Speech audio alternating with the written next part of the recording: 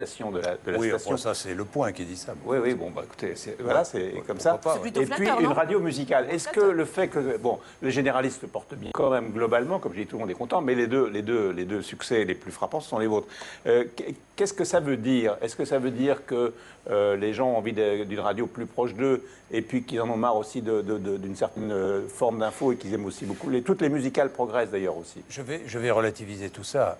D'a- D'abord, ce qu'il faut remarquer, c'est le succès formidable de la radio. En général, toute radio confondue. La durée d'écoute formidable, a formidable succès de la radio. Il y a eu une appétence pour la radio qui est absolument, qui a été formidable dans cette période-là. Ça, c'est la première chose. La deuxième chose, c'est que euh, euh, on est dans une pré-campagne présidentielle. Il y avait évidemment un besoin de débat, un besoin de. Mais il y a- de- il y a de des débats, mais parler, il peut y avoir forcément. saturation aussi. Il peut y avoir saturation. euh, bah, je crois que, je crois que, enfin, nous, nous, notre programme est très identifié. Donc, je, Ah oui. je- je pense que, je pense que ça, ça y fait. C'est quoi votre ça- plus, Jean-Jacques Bourdin, par On est rapport beaux gosses quand même tous les deux. Non, mais c'est important. Merci Manu. Et on, a, on a un truc en Manu, commun. merci. On a un truc en commun quand même. Bon, Oui. Effectivement, la beauté, la beauté du visage. en commun?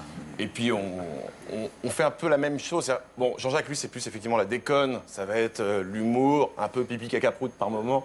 Moi, c'est plus politique, effectivement. Mais on a ce truc d'être près des gens, comme Jean-Jacques l'a dit.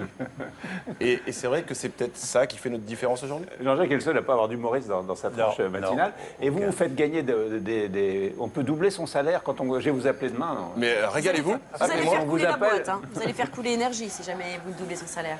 C'est-à-dire que L'auditeur, l'auditeur, l'auditeur appelle et peut. peut Non, ils son- envoient, ils s'inscrivent sur internet, sur énergie.fr, et, euh, et ensuite on les appelle deux fois par jour, 7h05, 8h05, et on leur double leur salaire.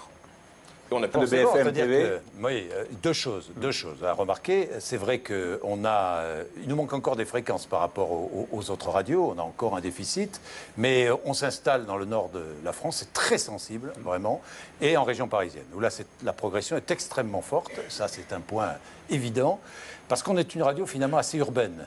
Le débat, le- la discussion, Malgré le nom. Oui. Malgré le nom. Oui. Mais non, mais c'est vrai. Mais vrai. le nom est oublié. Oui, oublié, c'est Radio c'était pas Radio oublié, Monte-Carlo. La radio du midi, c'est fini. Ça y est, Ouais, on a réussi à effacer ça. Vous savez que ça, on a, on a travaillé, mais on, on- on- on a effacé, on a effacé ça. Bon.